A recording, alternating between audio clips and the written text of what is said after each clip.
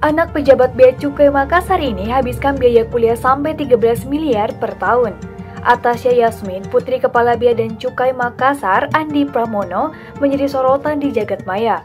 Perempuan yang saat ini tengah mengenyam pendidikan di University of Melbourne, Australia, kerap memamerkan gaya hidup mewah di media sosial. Dalam unggahan akun Instagram @outfitcostbattle pada 15 April 2020, terpampang sosok Atasha dengan gaya pakaian yang melekat di tubuhnya itu seharga 25 juta. Atasha merupakan mahasiswa double degree kelas khusus internasional jurusan manajemen di Universitas Indonesia. Hal itu dibenarkan Ketua Program Kelas Khusus Internasional Fakultas Ekonomi dan Bisnis Universitas Indonesia, Isfandiarni. Menurutnya, Atasya menjalani tahun keduanya sejak berkuliah di UI pada tahun 2019. Kemudian, dua tahun berikutnya, Atasya memilih Universitas Mitra UI, yakni University of Melbourne, Australia. Dia memilih University of Melbourne di Australia. Dia berangkatnya bulan Juli 2021, jadi sudah lama ya. Sekarang semester terakhir, ungkap Isfandiarni. Lantas, berapa ongkos pendidikan anak petinggi Kepala Bea Cukai Makassar itu? Isfandiarni mengungkapkan biaya pada program double degree KKI jurusan manajemen itu terbilang cukup tinggi.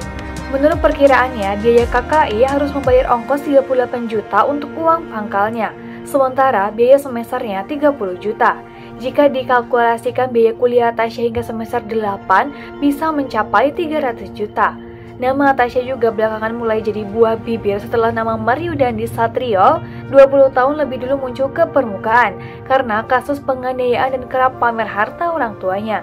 Dialah Tasya Yasmin, anak pejabat petinggi Direktorat Jenderal Bea Cukai yang ada di bawah payung Kementerian Keuangan. Ayahnya, yang bernama Andi Pramono, merupakan Kepala Bea Cukai Makassar, Sulawesi Selatan. Atasya disorot karena kerap memamerkan barang-barang mewah di media sosial.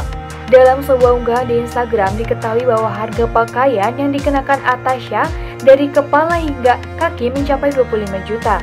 Kekayaan ayah Atasha jadi sorotan, Andi Pramono saat ini tengah menjadi sorotan karena memiliki harta kekayaan mencapai 13,7 miliar per tahun 2021.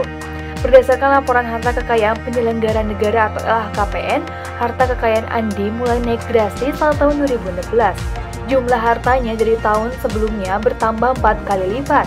Pusat Pelaporan dan Analisis Transaksi Keuangan PPATK mengungkapkan temuan janggal dari riwayat transaksi Andi. Banyak setoran tunai dari perusahaan-perusahaan, kata Kepala PPATK Ivan Yustia Vandana. PPATK sudah menyampaikan hasil analisis mereka ke KPK.